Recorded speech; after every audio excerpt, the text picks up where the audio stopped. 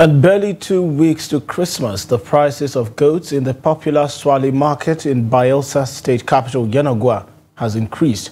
And residents in Yenagoa metropolis blame the traders for the increase in the prices of goats and other commodities. Trust TV's Friday, Ebimobowei Peter visited some spots in the city where goats are sold to ascertain their prices this festive season. Here's his report. Resident Bobby Ugo and Tona Timimbi, who bought a goat and rice at exorbitant rates, call on federal government to set up a task force to control the market prices. One thing about Nigeria is uh, they don't obey the, the laws of gravity. What goes up will surely come down. So um, prices are high. The woman that goes to farm in Bayelsa here, for food that used to satisfy me, Today now, that fufu, the fufu cannot satisfy me. Will you blame Tinubu? Will you blame the Oyedere? Will you blame the government for that? No. The garri that uh, we, our people see it as a normal thing.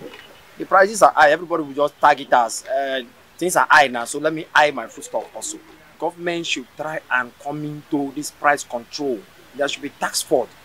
When the government pronounce that, tax force will follow up to ensure that the prices are. People carry out the the orders of the government. Buy the, my, the, when I went to buy goods, you know, the good sellers told me that it's because of the cost of fuel and uh, the cost of transportation and other things and the uh, high rate in dollar.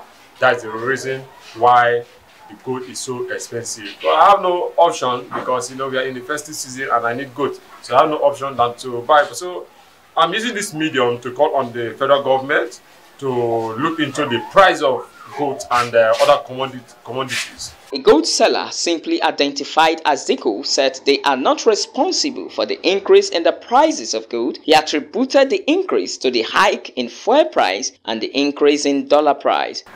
The one who said 50 don't go 60.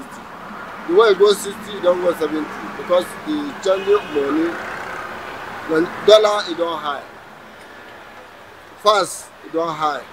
Now what we dey go niger we dey go buy good for niger. So what we dey go niger na the price don come e don high because the that side money don high pass our own so when we come nigeria the thing don come a place for us. And the transport before from now we dey go north ten thousand eight thousand. But now when we go north thirty thousand naira na you carry go north. Only you I want make your federal government make it look this matter, make it release something for fuel side, then the dollar make it try to talk to these people there, make it reduce the dollar price. If we do like that, by God grace, we save Nigeria money with the ice more. This festive season, some goods are sold for as high as 75,000 naira and more. From Yenagoa, I'm Friday Ebimobowe Peter. Trust TV News, Yenagoa.